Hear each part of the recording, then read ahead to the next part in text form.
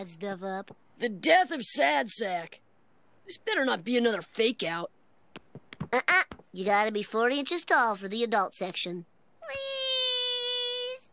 Okay, but get on your tippy toes.